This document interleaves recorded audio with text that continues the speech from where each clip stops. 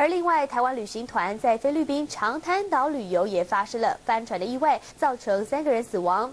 那么同团的旅客返台，被记者问到当时有没有穿救生衣，旅客说吓昏了，完全记不得。但是其他的船客是看得很清楚，翻覆的螃蟹船上的游客通通没有穿救生衣，三十个人落海，有三个人不幸罹难。那么三名罹难者当中会在菲律宾火化，预计下个礼拜返台。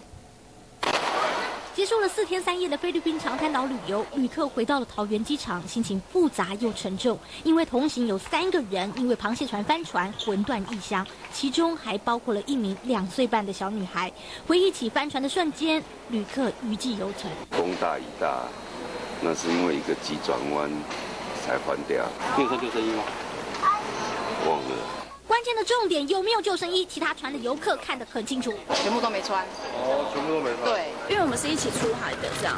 有看着它翻掉吗？呃，我们是看到它翻掉之后，我们才注意到的。其他团的旅客拍下了被拖回来的螃蟹船，船身已经明显破了好几个洞。前面看到黑黑的地方有个大破洞。